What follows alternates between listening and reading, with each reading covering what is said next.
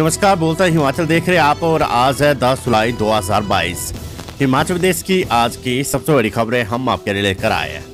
हमेशा की तरह आप इस वीडियो को लाइक कर दीजिएगा, चैनल पर नहीं जुड़े चैनल को आप सब्सक्राइब ज़रूर करें। पेश है आज की सबसे बड़ी खबरें। कॉलेजों में दाखिले कल से ऑनलाइन मिलेंगे प्रोस्पेक्टस हिमाचल प्रदेश के कॉलेजों में सोमवार से दाखिले शुरू हो गए एचपीयू से संबंध रखने वाले करीब 133 कॉलेजों में सोमवार से नए सत्र के लिए छात्र फ़र्स्ट ईयर में एडमिशन ले सकते हैं। हर एक कॉलेज में आर्ट्स साइंस और कॉमर्स विषय के लिए सीटों का वितरण भी कर दिया गया है। लगभग सभी कॉलेजों में इस साल भी पिछले साल की तर्ज पर ही सीटों का वितरण किया गया है। वहीं Sanjauli R K M B और कोर्सेरा कॉलेज की बात की जाए तो यहाँ पर आठ संकाय में सबसे ज़्यादा सीटें हैं। एडमिशन के लिए छात्रों को इस बार दस दिन मिलेंगे, यानी 20 जुलाई तक छात्र एडमिशन ले सकते हैं। उसके बाद कॉलेजों में मेरिट लिस्ट लगेगी कॉलेजों ने छात्रों की सुविधा के लिए प्रोस्पेक्टिस भी ऑनलाइन कर दिया है। छात्र वेबसाइट से कॉलेजों का पूरा ब्यौरा ले सकते हैं। एच ने बनाई कार्य योजना अगले सत्र से समय पर घोषित होगी। यूजी और पीजी के परीक्षा परिणाम। हिमाचल प्रदेश विश्वविद्यालय एच ने अगले शैक्षणिक सत्र से स्नातक यूजी व स्नातकोत्तर पीजी स्तर के कोर्सेज के परिणाम समय पर घोषित करने के लिए कमर कस ली है। इसके लिए विश्वविद्यालय प्रशासन ने कार्य योजना तैयार की है। विभिन्न परीक्षाओं के परिणाम घोषित होने में देरी न हो। इसके लिए विश्वविद्यालय के कुलपति प्रोफेसर एस पी बंसल ने अधिकारियों के साथ चर्चा की है और दिशा निर्देश दिए कि परिणाम समय बाद घोषित करने के लिए जो ज़रूरी कार्य किए जाने और मैकेनिज्म तैयार करने उसे पूरा किया जाए।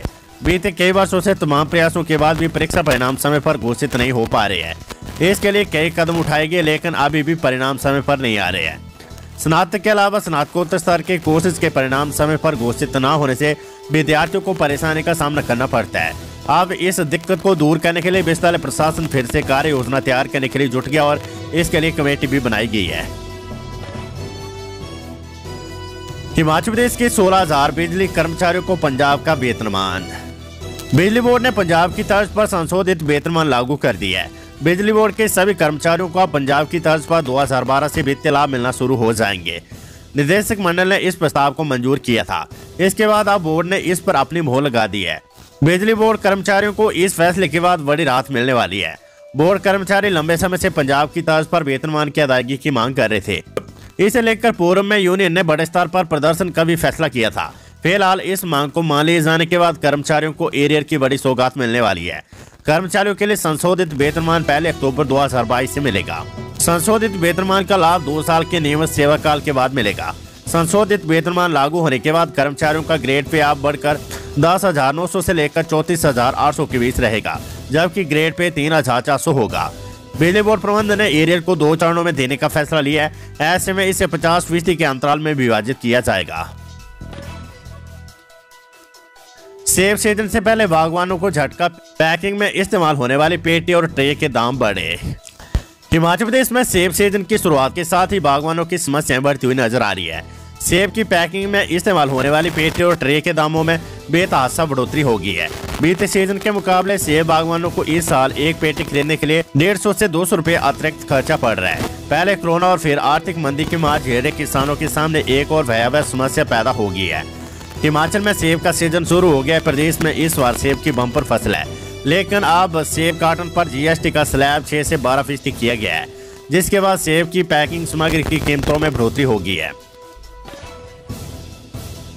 शेरीखंड यात्रा में मांस और शराब पर पाबंदी 18 साल से कम 60 से ऊपर भक्तों के जाने पर रोक। शेरीखंड महादेव यात्रा करने के लिए श्रद्धालुओं को जिला प्रशासन के 11 दिशा निर्देशों का पालन करना होगा, जिससे भक्तों की श्रीखंड यात्रा सुलभ बनेगी।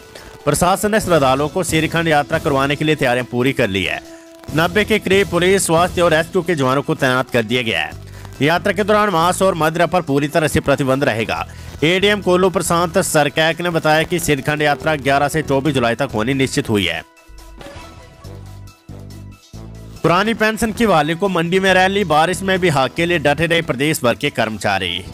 पुरानी पेंशन की वाली को लेकर शनिवार को नई पेंशन स्कीम कर्मचारी महासंघ की ओर से मंडी में पेंशन संकल्प रैली का आयोजन किया गया। रैली की अध्यक्षता महासंघ के जिला अध्यक्ष लेख राज ने की। इस अवसर पर संगठन के प्रदेश अध्यक्ष प्रदीप ठाकुर मुख्य रूप से उपस्थित रहे। ये रैली विपाशा सदन में इकट्ठा होने के बाद वहाँ से रैली के रूप में शेरी मंच पर पहुँचे। रैली में कर्मचारियों ने ढोलगारों के साथ राज्य सरकार से पुरानी पेंशन की बहाली की मांग करने को लेकर जमकर नारेबाजी की। एनपीएस कर्मियों की इस रैली के दौरान कर्मचारियों में भारी रोष देखने को मिला। पूरा दिन पूरा शहर पुरानी पेंशन वाले के नारों से गूंजा। प्रदीप ठाकुर ने कहा कि प्रदेश सरकार को जल्द से जल्द पेंशन बहाल करनी चाहिए। उन्होंने कहा कि मुख्यमंत्री जयराम ठाकुर ने संवैधानिक पद पर बैठकर कर्मचारियों से बदले की भावना से काम किया, जो बिल्कुल भी सही बात नहीं है।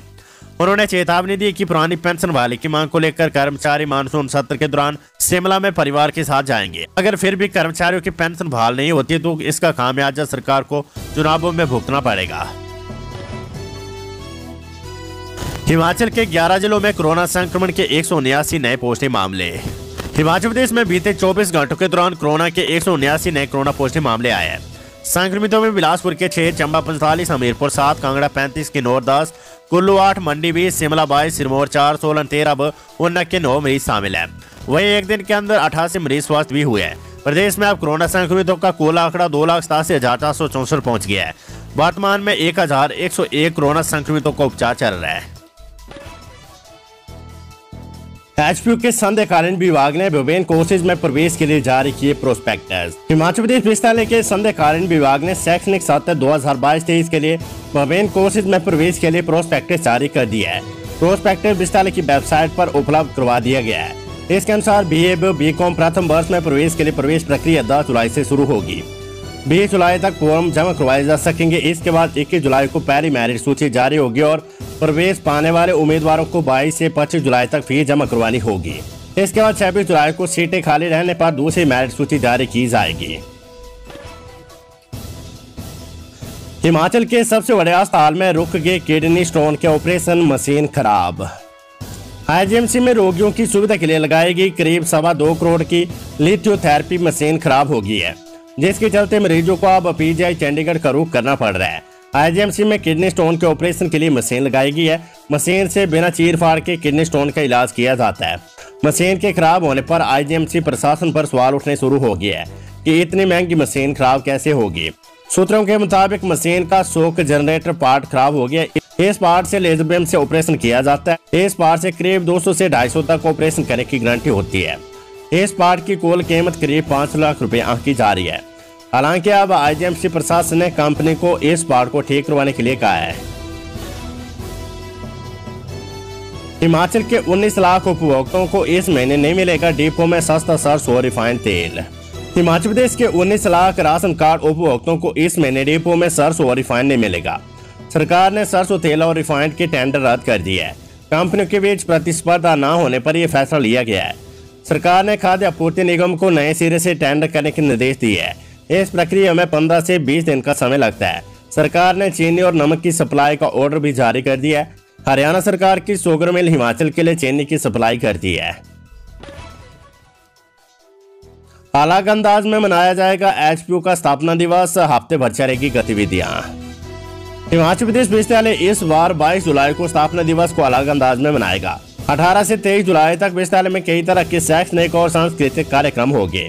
इसमें सेमिनार संगोष्ठियाँ सांस्कृतिक गतिविधियाँ आयोजित की जाएगी।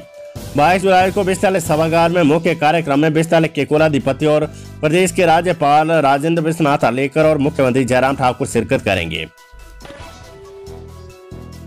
हिमाचल में बारिश का कहर, चौपाल में 10 सेकंड में चार मंजिला भवन जमीदोज दो दिन भारी बारिश के बाद शनिवार दोपहर साढ़े बारह बजे मौसम साफ़ में, नींव धसने से हिमाचल प्रदेश के शिमला के चौपाल में, चार मंजिल भवन था सेकंड में जमीदोज हो गया है। इस भवन में दो बैंक, एटीएम, एक बीर वार और एक ढाबा और निचली मंजिल में लोगों के आवास थे।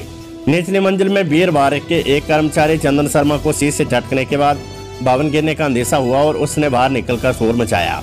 ढाबा मालिक किशन दत्त और बाहर खड़ी करने व्यक्ति विनोद पनायक ने शोर मचाया और सभी को निकाला। चंद मिनटों में पूरा भवन ताश के पत्तों की तरह भर कर गिर गया और मलबे के ढेर में तब्दील हो गया। गनीमत रहे की सप्ताह के दूसरे शनिवार की छुट्टी होने के चलते यूको और हिमाचल ग्रामीण बैंक में छुट्टी थी। कुल्लू की गरसा घाटी में फटा बादल, बाढ़ से खेत व पुल क्षतिग्रस्त, पचास भेड़ बकरियाँ बही। हिमाचल प्रदेश के जिला कुल्लू की गरसा घाटी की पाले पंचायत के सिलागढ़ में शनिवार दोपहर बादल फटने से कुरला नाले में भयंकर बाढ़ आ गई। बाढ़ से करीब 25 किलोमीटर क्षेत्र में अफरा तफरी मच गई। नाले किनारे बस से लोगों ने भागकर जान बचाई।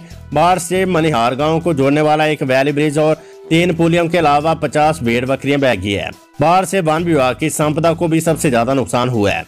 चंबा के कोकती में भारी बारिश से मनवीस यात्रियों के लिए बनाई गई पैदल पुलियाँ बह गई है। कसोली परवाणु सड़क पर मसोबरा में एक निजी विला के समीप पार्क पंजाब नंबर की एक कार पर पत्थर गिरे है। चौदह जुलाई को होगी बी टेक कोर्स की प्रवेश परीक्षा, पाँच स्थानों पर बनाए परीक्षा केंद्र। हिमाचल प्रदेश विश्वविद्यालय की University Institute of Technology UIT के बी टेक कोर्स की प्रवेश परीक्षा चौदह जुलाई को आयोजित होगी। प्रवेश परीक्षा के लिए पाँच स्थानों पर परीक्षा केंद्र स्थापित किए गए हैं। ये परीक्षा केंद्र हिमाचल प्रदेश विश्वविद्यालय शिमला के अलावा धर्मशाला, मंडी, हमीरपुर और चंडीगढ़ में बनाया गया है। प्रवेश परीक्षा में बैठने वाले उम्मीदवारों के एडमिट कार्ड ग्यारह जुलाई को जारी होगी। इसके अलावा उम्मीदवारों को ये भी सूचित किया गया कि नई दिल्ली में बने परीक्षा केंद्र को रद्द कर दिया गया है। यहाँ बना परीक्षा केंद्र चंडीगढ़ में सेफ्टी मर्ज किया गया है। नकली नोट बनाने के मामले में हरियाणा पुलिस की हिमाचल में दबिश शिमला से उठाया युवक। नकली नोट बनाने के मामले में संलिप्त एक आरोपी को हरियाणा क्राइम ब्रांच की पुलिस शिमला से उठाकर हरियाणा ले गई है। आरोपी का नाम नवनीत बताया जा रहा है, ये मंडी ज़िले के सुंदरनगर का रहने वाला है। ये संजोली में किराए के कमरे में रह रहा था। हरियाणा क्राइम ब्रांच की पुलिस काफ़ी दिनों से इसकी तलाश कर रही थी। पुलिस को जैसे इसका पता चला तो उसने तुरंत शिमला से उठा लिया और सीधे हरियाणा ले गई। कॉलेजों का निरीक्षण करने के लिए National Assessment and Accreditation Council NAAC की टीम सितंबर माह में हिमाचल आएगी। इस दौरान टीम उन कॉलेजों का दौरा करेगी जिन्होंने नैक से एक्रीडेंशियल के लिए आवेदन किया है। टीम तय मापदंडों के तहत उन कॉलेजों में दी जा रही सुविधाओं की जाँच करेगी। उसके बाद कॉलेजों को नैक की ओर से ग्रेड दिया जाएगा। बताया जा रहा है कि प्रदेश में इस समय पंद्रह कॉलेज नैक से एक्रीडेशन लेने के लिए पात्र है। इसमें तीन कॉलेजों ने इसके लिए आवेदन भी कर दिया है।